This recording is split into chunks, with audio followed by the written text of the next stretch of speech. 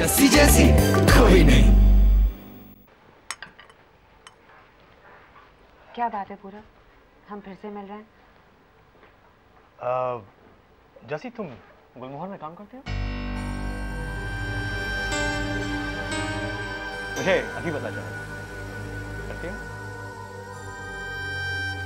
वो क्या है मेरा एक दोस्त है उसके पास गुलमोहर के कुछ शेयर्स थे।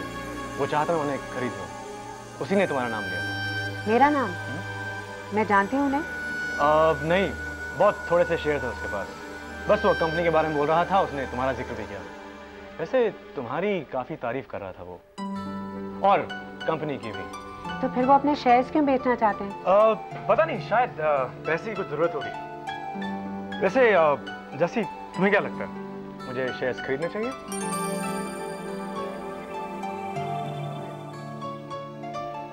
वैसे ज़ाहिर है जिस कंपनी में तुम काम करती होगी वो कंपनी तो अच्छी चल रही होगी। हाँ। अच्छा तो कर रही है। मैं जानता था। जिसके बारे में नंदू बात कर रहा था वो यही है। जैसे ही लाइफ का नया एंगल थर्ड मैन नया ट्विस्ट हमारी सारी की सारी मेहनत पानी में गई। पहले हमने नंदू को पटाया फिर जस्सी के बाप को पटाया अब इसे भी पटाना पड़ेगा। ताली बढ़ती जा रही लेकिन अब बहुत हो गया। बहुत बड़ा जाल खिला इसीलिए तो नौकरी को लात मार दी और कोहिनूर को लात मारने की धमकी दी लेकिन हम उसे कोहिनूर को लात नहीं मारने दे सकते अरमान। हम फंसे हैं और फंसे ही रहेंगे।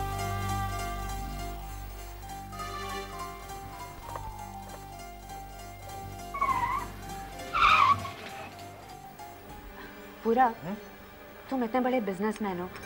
हमेशा बॉस रहे हो। क्या ऊपर रहकर नीचे लोग छोटे लगते हैं? छोटे? बिल्कुल नहीं। In fact it's completely the opposite जैसे तुमने वो पोस्टर देखा है बहुत कॉमन है। हर जगह मिलता है। उसमें एक बड़ा सा समंदर है। उसमें एक छोटी सी कश्ती है जिसमें एक आदमी बैठा है। और नीचे लिखा हुआ है कि भगवान तेरा समंदर इतना विशाल और मैं कितना छोटा हम्म? हाँ? वैसे ही जो लोग बिना दुनिया देखे बॉस बन जाते हैं ना उन्हें ना खुद का ना किसी और का सही पर्सपेक्टिव रहता है। ना ही रिस्पेक्ट तो बॉस बनने से पहले दुनिया देखनी ज़रूरी है? नहीं जस्सी दुनिया देखनी ज़रूरी नहीं है मगर कश्ती में बैठकर पानी में जाना चाहिए।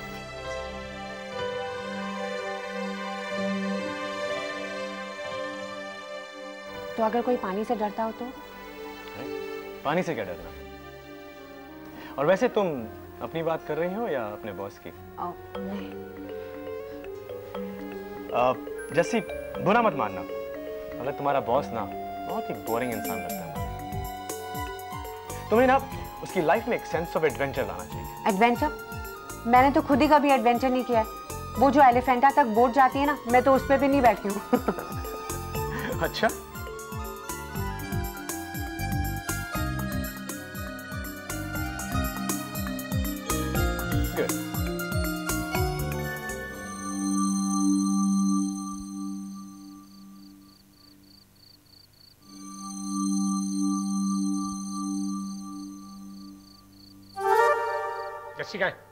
मुझे क्या पता? क्यों? तू क्या श्रीलंका शिफ्ट हो गया। कहकर तो गई थी कि वो गुलमोहर जा रही जल्दी लौट आई। आई तो नहीं अभी तक। फ़ोन करके बताने की ज़रूरत भी नहीं समझी क्यों समझे अंकल जी? अब उसको और लोग जो मिल गए उसकी देखभाल करने के लिए क्या मामा हमारे लिए लस्सी बना दो। पूरा तुम बैठो मैं अभी आती हूँ। नमस्कार अंकु।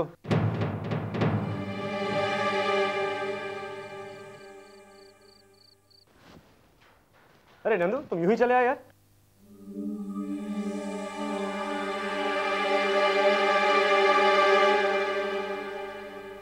जस्सी क्या हुआ गुलमोहर में कुछ नहीं वो मैंने अरमान सर को बता दिया कि मैं वापस नहीं आ सकती। और जो मैंने कहा था तुझसे वो? पापा जी मैंने सोच समझ कर ही फैसला किया। मैं वही कर रही हूँ जो मेरा दिल कह रहा है। तेरा दिल कह रहा है या तेरा मेरा दोस्त कह रहा है? पूरब? पापा जी पूरब का कोई लेना देना नहीं है इससे। देख बेटा नए दोस्त नए मौके नई नौकरियाँ ये सब मिलते रहते हैं लेकिन पुराने लोगों का साथ नहीं छोड़ा जाता। ऐसा ही सब कुछ नहीं होता ज़िंदगी में। मैं पैसों के पीछे नहीं भाग रही हूँ पापा जी। तो फिर क्या वजह है कि तू गुलमोहर दोबारा से ज्वाइन नहीं कर सकती?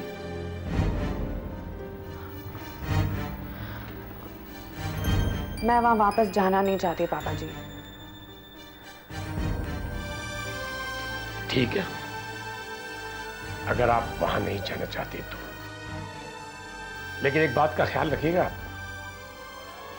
एक नई नौकरी ज्वाइन करने के बाद अगर आप वहाँ आधे अधूरे मन से काम करती हैं तो ये उनके साथ धोखा होगा।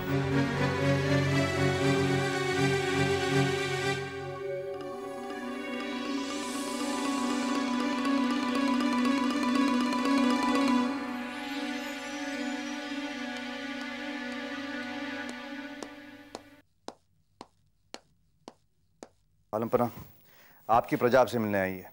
जरा इन दुखियारों की बात सुन लीजिए प्लीज़ आइए। हेलो सर बोलो रूबी। क्या हुआ? अरमान जस्सी गुलमोर छोड़ रही है।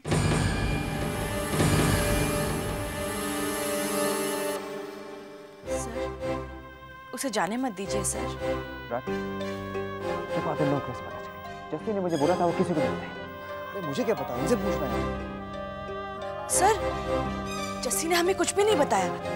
तो फिर ये बात तुम लोगों को कैसे पता चली? अब सर हमें तो ऑफ़िस की सारी बातें पता चली जाती है ना सर? बकवास।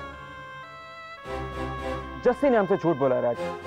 उसने मुझसे वादा किया था कि वो गुलमोहर को छोड़ने वाली बात किसी को नहीं बताएगी। अरमान ज़रूरी नहीं है कि जस्सी ने इन्हें बताया हो। और भी लोग हैं इस ऑफ़िस तक मुँह खोलने वाले।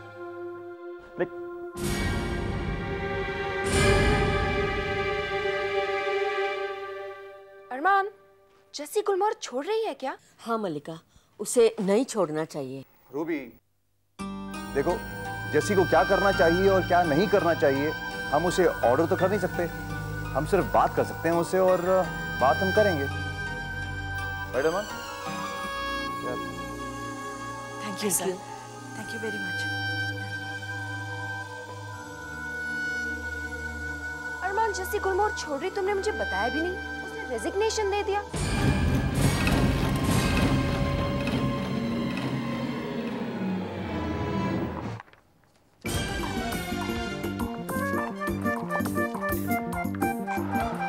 तुम तुम मेरे कैबिन में क्या कर रही हो? आर्यन अपनी असिस्टेंट से ऐसे डरना नहीं चाहिए। तुम मेरी असिस्टेंट कब से बन गई ठीक है हूँ नहीं पर बनूँगी तो मैं ही। इसलिए मुझे सब कुछ पता होना चाहिए। अब अरमान और जस्सी को ही देखो अपने बीच में कितनी सारी सीक्रेट्स रखते हैं ये मलिका को भी नहीं पता।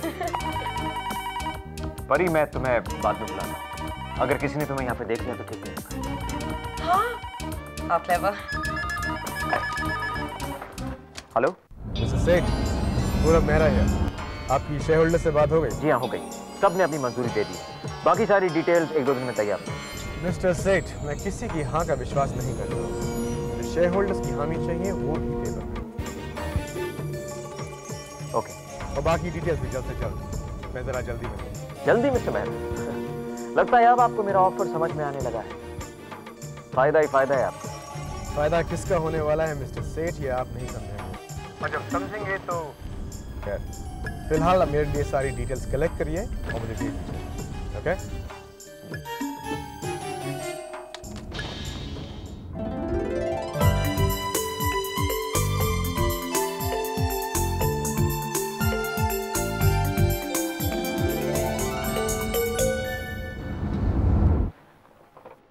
देखा? मैं कैसे समझ गई? बाहर का फ़ोन था ना? इस कौन है ये? तुम्हें जाने के लिए कहा था ना मैंने।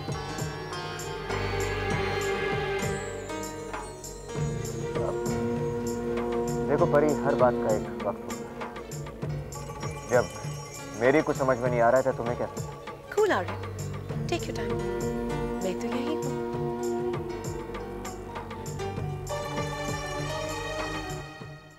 मैंने आज ऑफ़िस में सुना कि कल कोई पार्टी थी सिर्फ़ सेक्रेटरीज की। शायद फेयरवेल पार्टी थी। अब देखो ना कितनी अजीब बात है।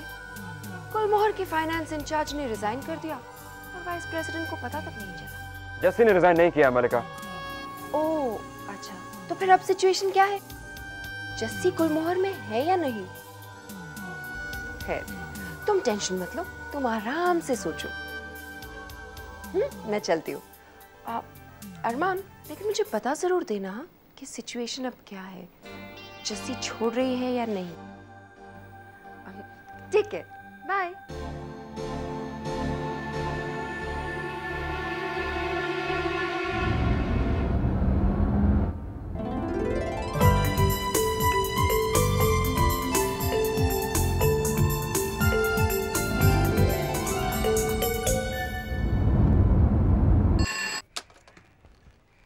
हेलो आ, क्या मैं जसमीत से बात कर सकती हूँ? कौन बोली? जी मैं हंसमुखी आईएफएच से बोल रही हूँ। आप क्या किसी को काम पर रखने से पहले फ़ोन पे उसको काम देना शुरू कर देती हैं? एक्चुअली हम सब लोग यहाँ बड़ी बेसब्री से इंतज़ार कर रहे हैं जस्सी के ज्वाइन करने का। जब तक उससे रोज एक बार बात ना हो जाए अजीब सा लगता है। बहुत अच्छी बात है। जब आपको ज्वाइन कर ले तो आप उससे मिल भी लीजिएगा उससे बात भी कर लीजिएगा। फ़िलहाल वो जरा ज़रूरी काम में बिज़ी है मैं उसको डिस्टर्ब करना नहीं चाहती। और आप? मैं उसका फादर हूँ। ओह तो आपको तो पता होगा कि जस्सी ने हमारे साथ कॉन्ट्रैक्ट साइन कर लिया है। जी। मुझे लगा अगर आपको पता नहीं है तो मैं आपको इन्फॉर्म कर दूँ। Thank you good day mister Walia किसका फ़ोन था अंकल जी? उस उल्लू पूरब का? पता नहीं एक उल्लू दूसरे उल्लू को इतनी जल्दी कैसे पहचान जाता है एक नई कंपनी से फ़ोन था। मतलब जस्सी गुलमोहर वापस नहीं जा रही? जस्सी भी बदल गए ना अंकल जी। नया दोस्त नई कंपनी अब तो वो गुलमोहर तो क्या मुझे भी नहीं पूछेगी।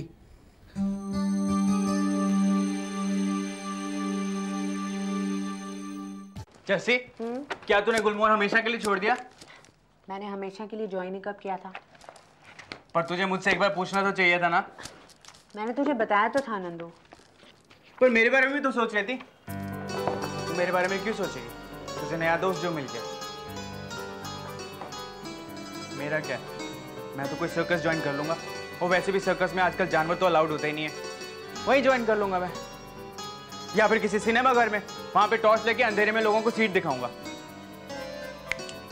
जैसे पिक्चर देखने चलेगी? टिकट भी मैं खरीदूँगा पॉपकॉर्न भी मैं खिलाऊँगा और आइसक्रीम भी मैं खिलाऊँगा। मैं तो आज घर में बैठ के टीवी देखूँगी। अच्छा? पूरब जब बाहर जाने को कहता है तब तो टीवी नहीं देखना होता तुझे। मैंने कहा ना नंदू आज मुझे टीवी देखना है। क्यों? ऐसा क्या आ रहा है टीवी पे आज? एक नया शो शुरू हो रहा है। ये मेरी लाइफ है। तो तेरी लाइफ में तो मैं देख ही रहा हूँ ना। उसमें ऐसा क्या है? वो लड़की ना वो बिल्कुल मेरी जैसी है। वो भी सपने देखती है। और उसके अंदर ना एक जुनून है कुछ कर दिखाने का।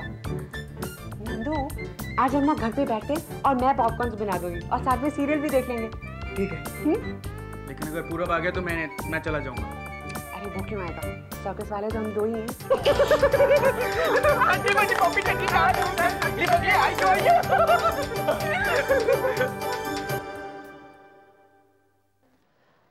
अंकल मैं जस्सी को बाहर ले जाना चाहता हूँ। तो क्या मैंने एक सरप्राइज़ प्लान कर रखा है उसके लिए?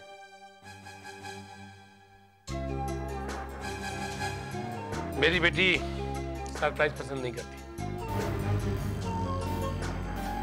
ना ही वो मुझे बिना बताए कहीं जाती है और ना ही मुझे जाना कल भी आप बिना मेरी परमिशन के उसको रोज रोज ये मैं बर्दाश्त नहीं कर सकता। तो पूछ रहा हूँ अंकल और अंकल वैसे मैं शहर में ले जा रहा हूँ। नहीं जा सकते। तू जस्सी को सरप्राइज़ देके उसे खुश कर देना चाहता है है ना? नहीं बे। खुशी से पागल हो जाएगी वो। अच्छा तो मैं उसे अभी बुलाती हूँ। बेबे आप जस्सी। तो जस्सी पूरब तुझे सरप्राइज़ दिखाने ले जा रहा है। जा तू। सरप्राइज़? आप क्या? ए, चलो तो सही। बहुत मज़ा आएगा। अच्छा ठीक है। मैं तैयार होके आती हूँ।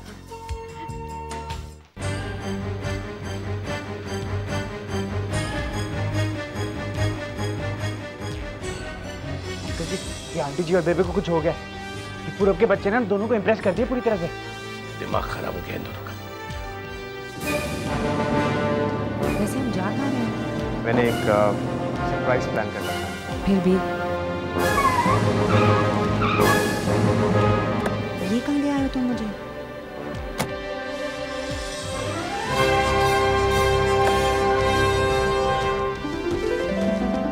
ये किसके लिए? ये सरप्राइज़ बाबा जी की क्वीन विक्टोरिया की। चले।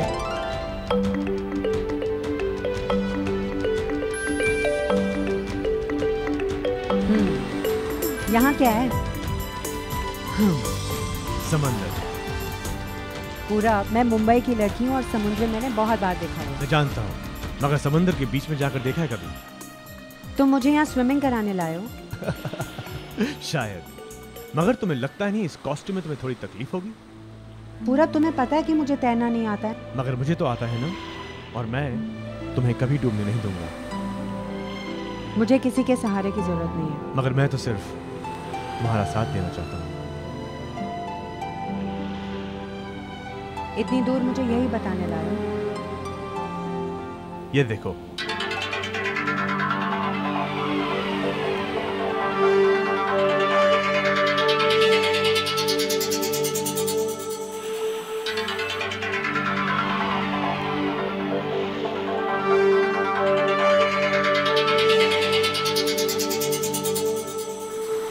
जैसे मैं चाहता हूँ यहाँ की हवा तुम्हारे चेहरे को छू कर निकले। मैं चाहता हूँ ये समुद्र की लहरें तुमसे बातें करें।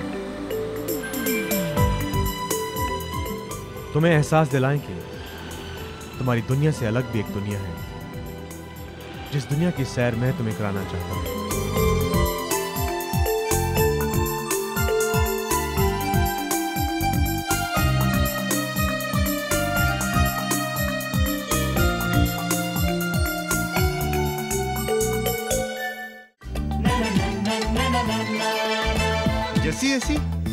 कोई नहीं।